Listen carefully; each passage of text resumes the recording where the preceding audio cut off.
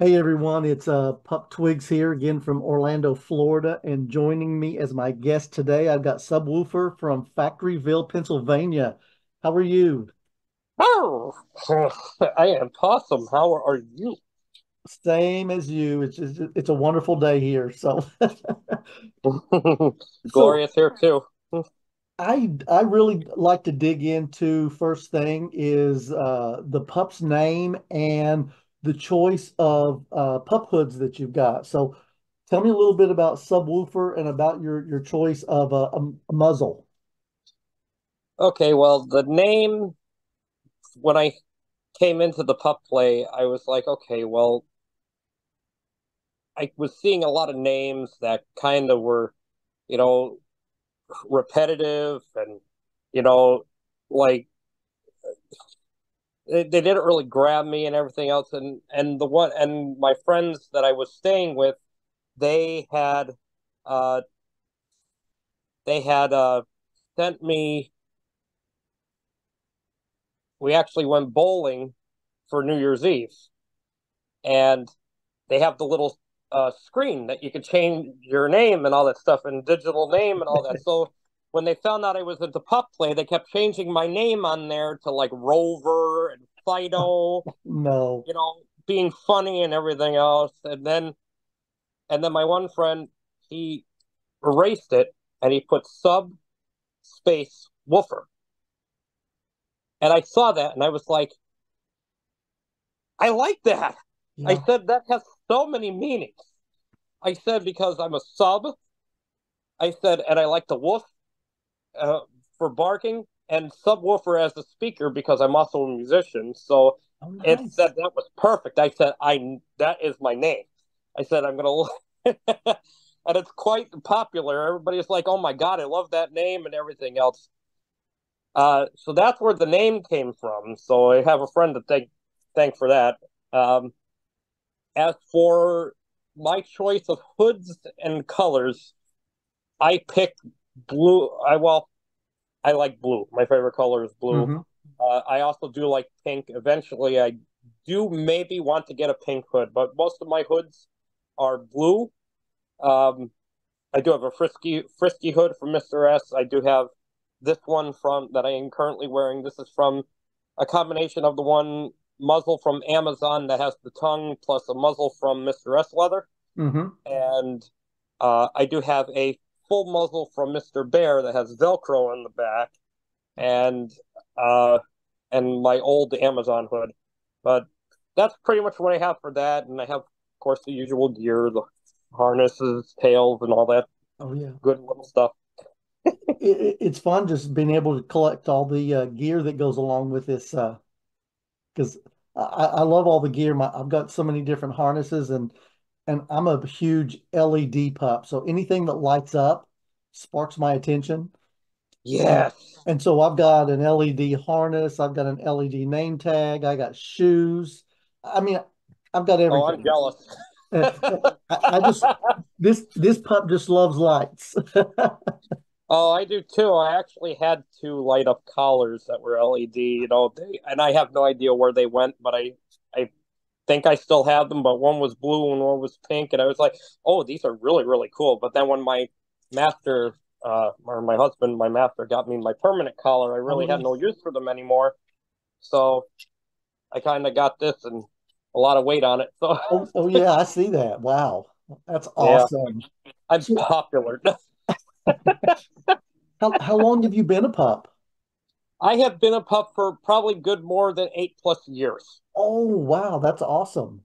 I, I I probably am including the when I was slowly getting into it and starting to learn and finding masters and hmm and everything. You know, I mean, like if uh, it's it was a uh, it's not an easy process to start off with because there's a lot to learn and there's a lot to get into and there's a lot to take in as in making the right choice for things because uh, you Right. don't want to pick the wrong thing. If you pick the wrong thing and there's no verbal communication, you could kind of get yourself into a sticky situation. Oh yeah, You yeah. know, so a lot of that, it w- I included a lot of the time that it took me to get into it to finally be where I am and comfortably where I am. Mhm. You know, because I've seen a lot of people and a lot of pups just uh, get into something too quick, and it's you know it doesn't go good. No, You know. I gotcha. I gotcha. So, out of the time that you have been uh, in the pup community, what have you found has been the easiest for you? And then what have you found that has been more difficult for you? Let's see. Probably the easiest is to find uh, companions and pup companions to actually help you through with any information that you need hmm uh, besides your current master or anything else, you know, like anybody to help you along learning wise. Uh, the hardest has been actually, uh, it's like I said, when I was starting out to actually find the master, you know, because Right. myself, like, and this would be later on for the question that comes up for my advice for the next for for for the, hmm a person in the pup community is that when you're finding a master, make sure they're the right one. Yeah. You know, that was that was a little hard process because um kept getting mixed signals and I kept going through a lot of them and several of them like had disappeared on me and I was like, okay, well this is hopeless. You know, like, you know, so that was hard, you know, but I me personally, I always look for the light at the end of the tunnel. I said there's always hope. I'll always find one and I did. There you go. It ta- it takes time. You cannot rush Yeah, don't rush it. You know, Exactly. you don't rush it. But yeah, that that was the hardest thing, and the easiest thing was at least to find pups and everybody to have friends because I love having more pup friends. Uh, you can never have enough. Oh, I I, love it. I, I have a big heart for our community, and I try to help anybody I can. Awesome. Yeah, I, I'm with you on that one. So, well, if, if there's something that you physically could change about our community, what do you think you would want to change? Oh, now there's a list. Um, if I well, let's say the top two things. Okay. One, to make pups understand that you do not, you do not need gear to be a pup. It is great to have. Don't get me wrong. It is fancy, and you can get it whenever you want. But if you can't afford it, you can't do this, or you can't do it now, does not mean you're still not a pup. You and a mm-hmm. lot of times people or new pups are misled and talked down from other pups saying, "Oh no, you can't be a pup because you don't have this gear or you don't have that." That needs to stop. We have enough hatred. Why are you adding more? hmm You know, like this this is that that is the one thing and then of course the second thing would be the hatred towards towards other pups, you know, like Yes. eh, I we have enough of that in the world. Like, get rid of it. That th- push that off to the side. It is time to be one big community and support each other, not tear each other down. Yeah. These, it, I'm sure this is like everybody else's top two too, because like they hear that I see this a lot. Yeah. You know, It- and it hurts. yeah, It hurts it- because we're supposed to be a community of pups that are supposed to support each other. Doesn't matter where the hell you are. yeah. Sorry. Um, but like if you could be anywhere, you could be in Germany, England, Berlin, uh, the west part of the United States, whatever. We are one community. One, one. Yes. Agreed. Agreed.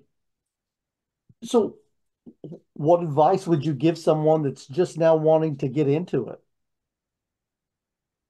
So, like going back to earlier, one, take your time, hmm uh, find yourself, explore, search for masters, but don't be quick to take one on. Oh, want to make sure you need Yes. full communication. And two, don't, like I said, don't let anybody tell you that you can't be a pup without the gear. The gear comes along as you go, yes. you know, and either your master could buy it for you or you could buy it for you. But those two things, that for my top advice would be for that, yeah, is make sure you choose your master wisely. Mm-hmm. And you don't want to get into something that's going to be rough for you because without any verbal communication, if it's just one sided, it's not going to be good, Yeah. you know. Yeah, and then, and then the gear, You know, like that comes along. Don't ever let anybody tell you that uh, you can't be a pup without the gear. Yeah, I I mean, anytime I talk to pups and they say, "Well, I really want some gear," I said, "Start with Amazon first. Yeah, Go, go for the cheap stuff and make sure this is what you want before you go and invest, because we all know these are not that that cheap." Oh yeah, no, they're not. But I do at least I can say that some of them let you do pay uh uh payment plans. Like uh I think there's a an app called Sezzle.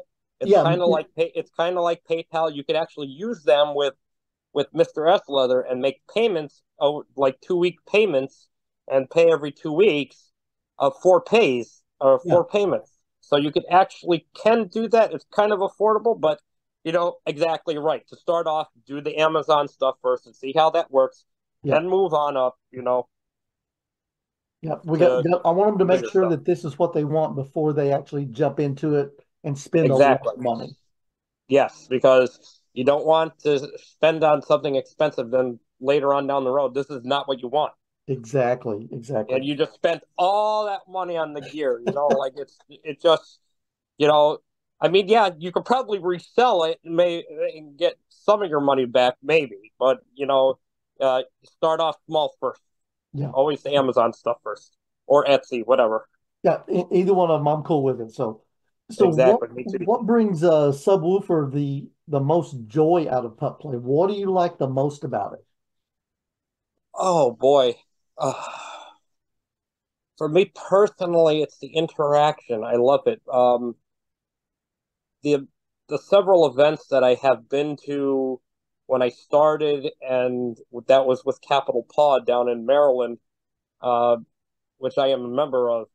Uh, they, you know, it was great because they had a ball pit. There was interaction. We were acting like pups and everything. I like the interaction. We were wrestling each other and everything, hmm and even even with my current set of pups that are that come uh, that are part of my Neparf group. Uh, um, in Telegram, you know, that we get together at these fetish nights. Uh, we wrestle, we pop out, we give each other belly rubs. I love the interaction. It's so fun. It's I I I got to tell you though, I am in pup space 24/7, 365 days of the year.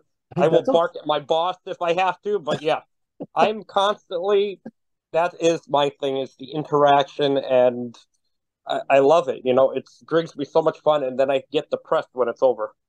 You know, Oh, yes, yes. I, I hate it because I just constantly love it. You know, I like shaking my tail. I like getting the belly rubs. It's like so fun. And then the night's over. I'm like, no, No, I don't. I don't want it to end. I don't want it to end. I'm Somebody I'm throw with me a sock. Yeah. So, do you have any special play toys that you like? I know some pups do and some don't. well, um, I have, I do have several squeakers. Uh, I have a Woodstock uh, toy squeaker. Uh, I didn't have, I don't have them with me, unfortunately. Oh, that's okay. Uh, but uh, my I, I don't know how well this may work for the interview, but I do have enjoy other pups' back paws. Oh, and that's okay. Yeah. yeah, like uh, definitely chewing on their socks for sure because I have a kind of a foot fetish, um, uh, sock fetish. So those, those are my other toys, as long as they let me go for it. but Okay. But right. natural, uh, other little toy squeakers, little things. Ball. We actually, I actually have a big, giant sized tennis ball, green tennis ball that's inflatable like a kickball, and you can roll. And we roll it around all the time on the on when again uh, back and forth to each other at the events. So it's fun. Nice, nice. So, so this is more on a, a serious note, but getting in, and uh, you said you live this 24 hours a day, but when you get into that pup headspace, what has it done for your mental health? Anything, boy, uh, any worries or anything bad that's been going on just disappears. hmm I mean, because if I quote it best from another pup that I've seen in a video, it's like, you know, it takes you to another spot where you don't have to think as much. So right. that's basically what it does. It actually makes me it takes me away from all from all the stress of life that's been going on and it puts me somewhere else that I can be and I can actually enjoy myself and it's fun and it takes me away. That's why I kind of like get depressed, like I said, when it ends because mm-hmm. you know it's over. But most of that time, yeah, it it actually de-stresses me from everything and I could go be my go be this pup and totally uh take myself somewhere else and yes. take my mind elsewhere and be this and be like sniff someone's butt and whatever. you know, be a pup and everything and, and not be a human, a, a human adult where with the everyday life because I'll uh, tell you what, I look forward to the events. Like I can't stand work; it's a oh, pain yeah. in the rear end, you know, and that's where a lot of the stress comes from. And yes. you know, I'm just ready to get into get into the gear and pump out and forget it all. Agreed. Uh, yeah, this this is me. I just I love when I do these back to back where I could be a pup for hours at a time at home uh, and everything. I just love being able to this right here, just back and forth, just talk to to pups everywhere. Just it just that headspace is it's just, awesome. just to be just to be funny though, it's like yeah, I, I do get a lot of stress from work, but at the same time, I also bark at several of my bosses. and that's okay. The good thing about me is I retired back in uh, December, so I haven't worked in two months, and yeah, love. And they don't care. I like it. They don't care. They let I I could do that, and I don't get in trouble for it. They don't care. hey, that, there you go. That that's. That... Gotta love it. yep, there you go. Just had, I told you, I'm 24 7. I'm a pup. I said I will bark when I need to. You're just lucky I don't pee on your leg. I hear that's good. oh man. So, you know, being in it as long as you have, that that's a long stint. But is there anything that you know now that you wish you had known before you became a pup?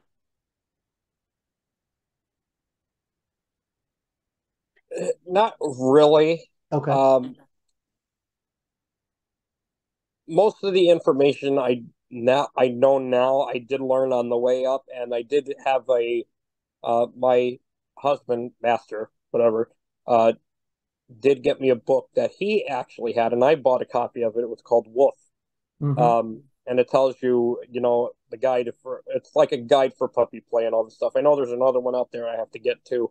Um, but yeah, it helped me out a lot, you know, like commands and all that stuff and everything would but me and my master, we are not fast like others. Mm-hmm. So like we don't really we train at our own pace and not uh, not make it fast enough. You know, we like having fun a lot more. So like yes. we'll do everything. You know, but you know if it came down to do, I'm not I'm not so one to do um contest because I'm I don't feel like I'm that kind of person. Like I would actually win anything. Not saying that I wouldn't, but I'm just I'm just not a, right. a competitive person. I, yeah. I'm not in it for competitive reasons. I'm in it for because it's fun.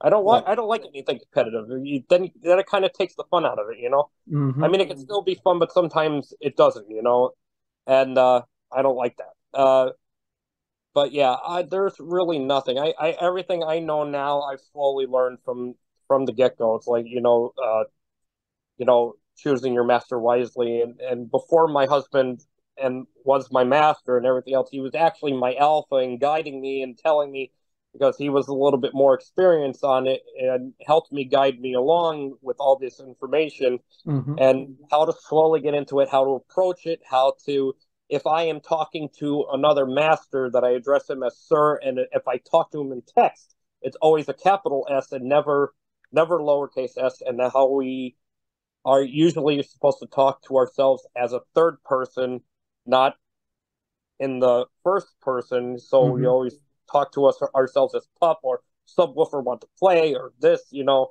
So all that I've learned up till now I'm pretty sure that as I go, there'll still be more to learn. Of course. It's always it's always learning journey. You're you're never you're never completely done.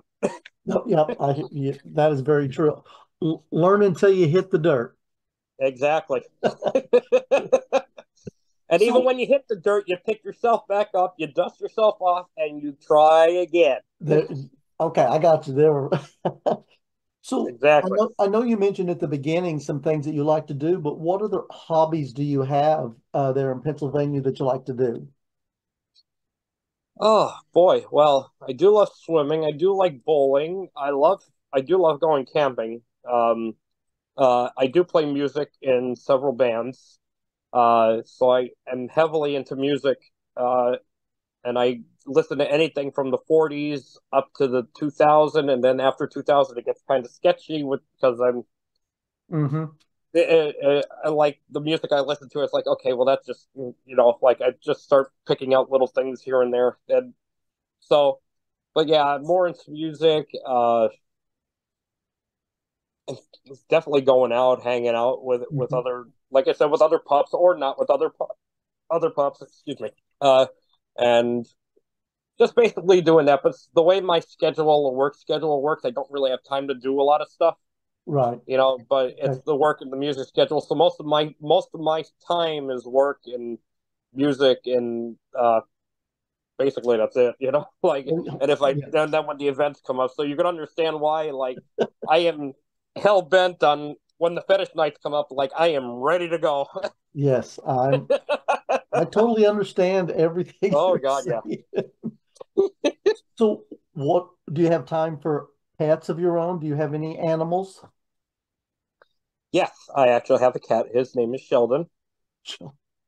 Yes. Well, uh, I'll even I'll even explain that why uh, is, and everybody's going to be like when they watch this, be like, yeah, it's the Big Bang Theory, and you're exactly right. That's where it came from because when he was a little kitten and he was so soft, and you can understand where I'm going with this. So he was so soft and cuddly that he act when he sat up here, he fell asleep right on my shoulder. Oh, And he was so soft, and I was like, "Soft kitty, warm kitty, little." I said, "That's it. Your name is Sheldon. You're coming home with me." yeah, that, there you go. Uh, I Uh, really wasn't gonna gonna get an animal, but you know what? He just—it's like he chose me when he fell asleep on my shoulder. And yep. uh, right now, my mom's currently checking in on him because I am visiting my husband in South Carolina, which this is his apartment. So Oh, okay. All right. I'm actually in Charleston, South Carolina right now. But yeah, I'm I'm originally from Pennsylvania. It's, but yeah, he that's where he is right now. Uh, she's checking in on him uh, Awesome. and everything. So yeah, So, that's my little animal. A painted He's a diva and a treat slut. I'm sorry, sorry I oh, had to oh, say no, that, but that's yeah. what he is. I, I I own three cats, so I I got you. Uh yeah. you you crack open the thing of treats and they are attacking your leg like no tomorrow. Yes. So, what about events that you have? I'm, I know you've mentioned a few and everything, but what what events do you have going on in your area for pups? Okay, so there is a fetish night run by this group called the NEPA Kinksters, hmm and they are a kinky group, like for any kind of kink, leather, whatever, you, Okay. you know, whips, chains, whatever, uh, any stuff like that. So they are currently doing events at the Twelve Penny Saloon in Moosic, Pennsylvania, uh, every third Saturday of the month. Um, March 30th. Uh, they are going to actually have at this place called the Sanctum uh, that they own. So it's like an old church uh, that they bought and they turned it into a, a kind of a play area and hangout area where they can be themselves. And uh, they're going to ho- hold a pet daycare. Uh, so it's all pets, not just pups, but any pets, kitties, Mhm. furries, you name it, uh, can come to this on March 30th. I don't know more details on it uh, as I slowly go, but I know the it is down in Sugar Notch. It's the location of this church, and it's beautiful. I've been there before. Um, in April, there will be a pup uh, play uh, a pup play uh, event at the Twelve Penny Saloon, run by uh, uh, a pup or a former pup. Actually, uh, he he kind of stepped back from it too much, too many things, and maybe it wasn't for him. But mm-hmm. you know, mm-hmm. he's still trying to hold it on. But I don't know more details on that just of yet. Okay. Um, but anybody, you know, when they get on my social media, anybody who wants to hit me up, and I'll try to get you any info I can, so you could come out and come out and play with us because I always look forward to more interaction with more pups everywhere. But yeah, right now, those are the events going on. Our next event is uh, February 17th at the 12 penny. So that's the fetish night there. And it's going to be fun. Going to be a blast. I think I might have even a couple new pups that joined our Neeparf group uh, come to it. So it'll be their okay. first. Yay! Well, awesome. Well, you got some good good stuff going on up there. So it's about time. You know, we I've seen it. I've, I've there's been events out in Pittsburgh. There's some down in Hazleton. There's some down in in Philly. You know, but we don't have anything around the Northeast PA. So when I found out like there's this little group of pups, you know, like they're they're coming to the events and they're starting to grow. Mm-hmm. I was like, ah, I see an opportunity, and there's actually and there's still more. Like it's like I said, we start coming out of the woodwork now.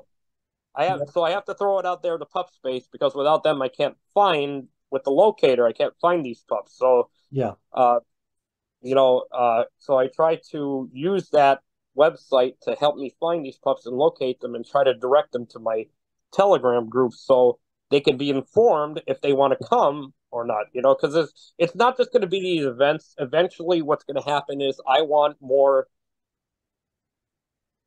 other things. Like if they wanted to get together to do picnics or you wanted to go you do a hike you know uh, other events besides the fetish event i want us to be like i want to hang out with pubs you know and and friends. I want to do things and interact because they're fun. Yes yes and we're all crazy. we're all crazy bunch of pups. I love it. We fit hey. in well together. You know, it works wonderful. It works yes. wonders. Yes. so so now's your chance to ask a question and you get to, you know, ask whatever you want to my next guest that I have on. Uh, what would you like to ask them? Oh boy. Oh, let's see. Oh, that'd be that's a little tough because most of the questions that you ask are pretty much what I would ask them. You know, like uh, uh, hmm. If uh, let's see. Problem. Oh yeah, this is difficult. I never never thought about doing that. Being being an interviewer myself. Uh, well, do you do you want me to ask your question first and let you just kind of stew on that a minute? Yeah. All right. Sorry. oh, that no, that's fine. So this came from Pup Gareth out of Anchorage, Alaska. And I never really thought about this, but you mentioned it, so I thought, well, this will be a perfect question. So what is your favorite piece of pup literature that you have come across? Oh, it's definitely the Wolf book. Um, it's definitely filled with a lot of information. Um, I believe it's an older style book. I wish I had it here to show you. I, you know, and I think about it now that I should have brought it with me. Mm-hmm. Um, but it actually, it, it's a it's a thin book, but actually it's filled with a lot of information for those starting out into the into the pup place. So definitely uh, love uh, definitely love that book, and it's helped me out a lot, um, including any information that anybody gives. You know, but that book did help me out a lot, and I do like it. And I know there's another one out there I got to get. Uh, but uh, that one I currently have, and that's the one that I currently like because uh, it helped me out a lot with a lot of information. It's very, okay. very informative. Okay. Um, so now, as for my question to ask the next pup, I think I'll make make keep it simple and ask, what is your uh, either favorite piece of gear uh-huh. or yeah, favorite piece of gear. I'm not going to go until I was going to say what what's your favorite fetish or what, okay. but I, I I don't think that's I don't say that may not be a good thing. So I think I'll just stay with the what is your favorite gear piece of gear that you own? Okay, and and that'll work. That that's a really a good question because you know it just depends on uh, what you like. Everyone has something different, so Yep.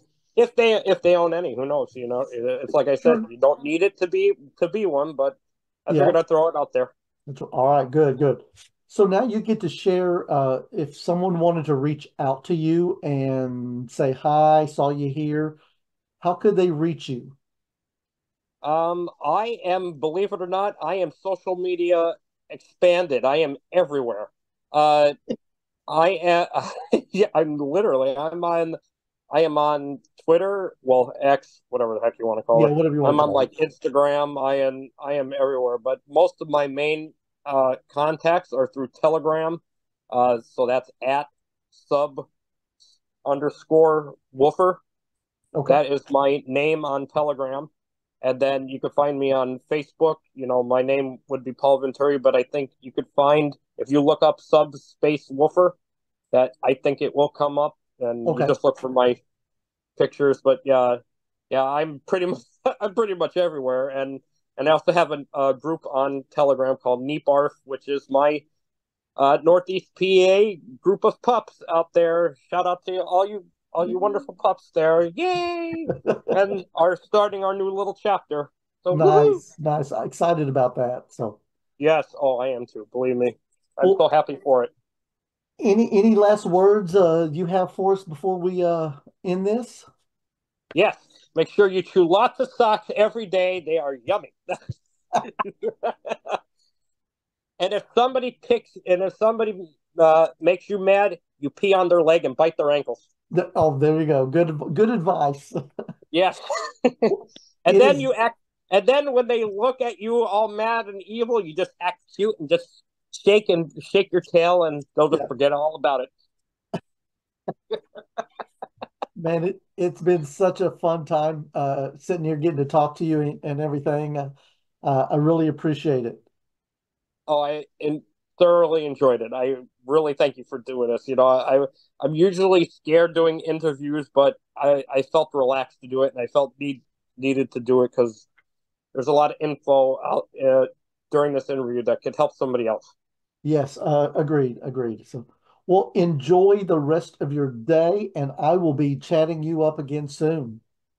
All right, you have a good day too. Oh.